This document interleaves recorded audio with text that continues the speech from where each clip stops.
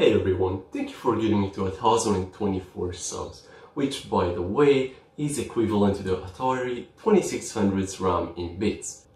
With that fun fact out of the way, I would like to share my journey to 1k subs so that you might learn something from it and perhaps start your own YouTube channel. I will give both general and more precise tips along the way. But before we get into that, I would like to give a big thank you to Joey de Vries for his amazing tutorials on OpenGL, which helped me learn this API. Another big thank you to Bo Carnes from FreeCodeCamp who accepted my OpenGL course and thus gave me some exposure and of course a heartwarming thanks to my first subscriber Juanma Aguilar Onate whose name I probably just mispronounced. With that out of the way, let's get into the thick of it. I wanted to make YouTube videos for a long while, but I kept putting it off because I thought my videos would not be good enough for my standards. Being a perfectionist, you can imagine my standards are really high. So I just had to make amends with the idea that I won't be able to make a perfect video and I just need to make a good enough video, like this video. The first opportunity came to me when I started learning OpenGL from Joey's tutorials on learnopengl.com. In the installation tutorial, I felt that there was quite a few steps missing due to him probably assuming we already know how to install libraries in our project. It took me a few hours to figure out, but in the end I managed it. I saw that there were other people in the comments saying they are stuck, so I decided to make a YouTube video on it to help others. Something which I enjoy doing. There are a few lessons to take from the first video I made. First of all, it shows that you don't need a lot of experience or fancy equipment to make a single video that can actually help people. The video is currently at 4k views with a 100% like ratio and nice comments, so I would at least like to think it helped a lot of people out.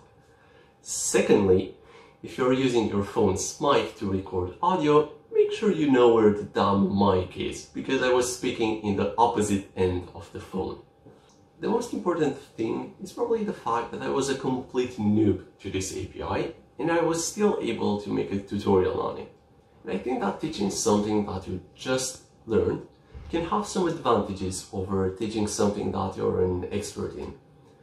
Since the learning experience is fresh in your mind, you can remember things that you found difficult and thus when teaching it, you can point out those things or at least just include them in the teaching material.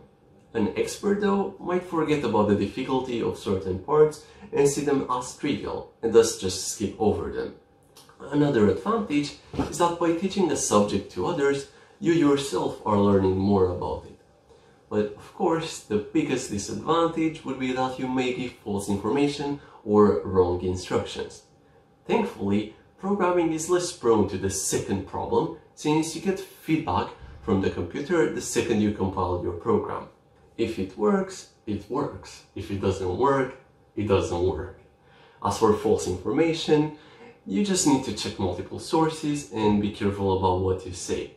If someone points out something wrong you say, make sure you try and fix that mistake. Now for the more technical part. I use my phone to record the audio, which is the Samsung Galaxy S10, if you're wondering. If you use the app WO Mic, you can connect your phone through an USB cable to your PC and use it as your mic. Notice you need the app both on your computer and on your phone. Then the audio itself, I would record using Audacity. For the illustrations in my videos, I use GIMP. For recording my screen, I use OBS Studio. And to put everything together, I use DaVinci Resolve. All the software I mentioned is free to use and download. And some of it is even open source. Let me know if you want a tutorial on this where I give more details.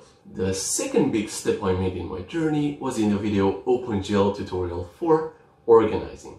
Here I deviated for the first time quite a bit from the Learn OpenGL tutorials and started using multiple sources for some of my videos. The big lesson to learn from this is to not be afraid to deviate from a proven structure and create your own structure even if you're not very experienced. My custom classes did have some disadvantages in the long run, but overall I think they proved quite useful. The third important video, and by the way my hand is kind of fucked up because I cut it into a piece of glass right before I recorded this, so I'm sorry. Anyways, the third important video is OpenGL tutorial number 10, Specular Maps. Here I figured out a great way to reduce production time and minimally affect production value.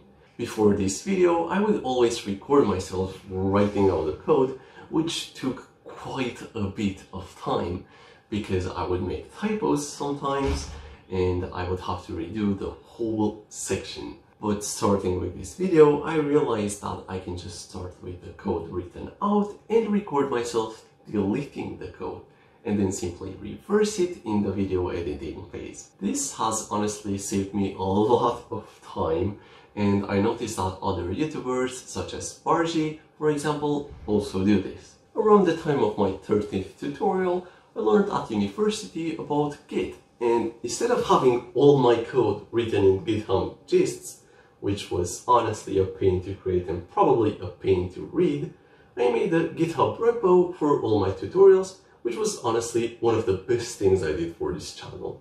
This also had the advantage that if someone said their project is not working, I could redirect them to the repo and ask them if the tutorial in the repo works.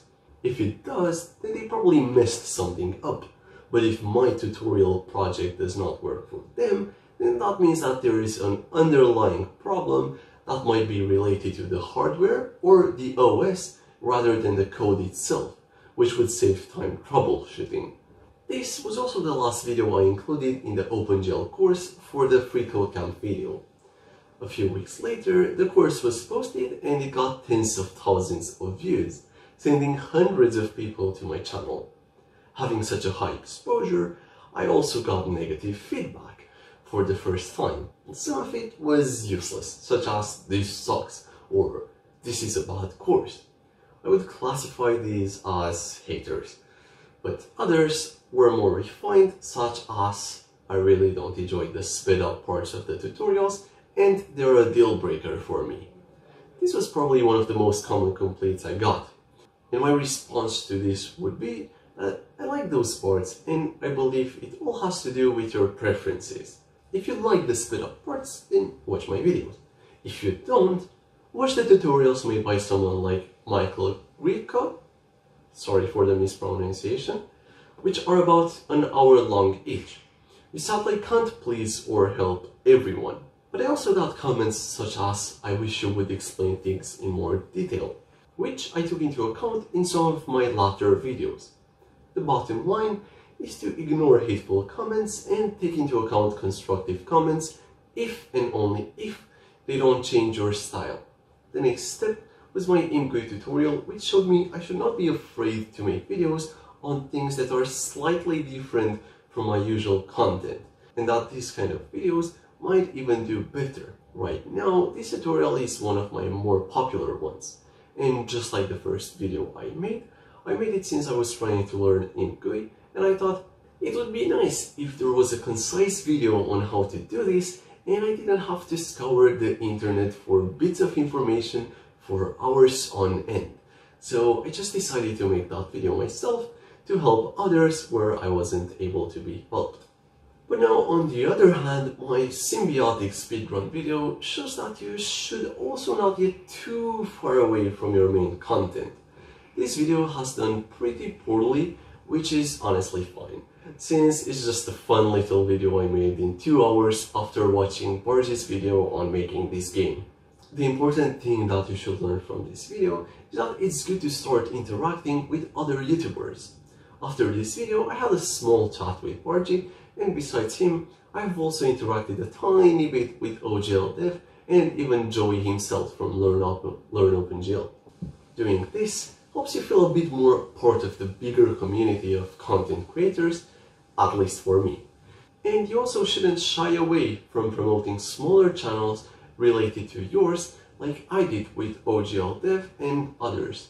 Making people aware of the fact that there are multiple sources where they can learn the things you teach them is pretty important if you want members of your audience to get more knowledge and grow overall as persons. At least that's my opinion. This video is starting to get pretty long at this point, so the last pieces of advice I have are to interact with your audience through comments and to keep in mind that even if you do your best, you may sadly still fail to achieve your goals. Since luck also plays a role in the process, and that's okay. Don't let it bother you too much. You can always try again later or keep going at it until some luck hits you from nowhere. I was initially planning to include a Q&A at the end of this video, but since I got a lot of questions, which is nice, Nice. and this is dragging on, I will make a separate video on the Q&A. Before leaving, I would like to suggest you to check out OGL Dev if you want detailed videos on the topics I cover, Michael Grieco if you want walkthrough sort of videos on OpenGL, and lastly but not least, designed by Hugo, which has some nice tutorials on C++ related things and will hopefully post more soon enough. Here is a picture of a cool 3D printed steel bridge. Bye!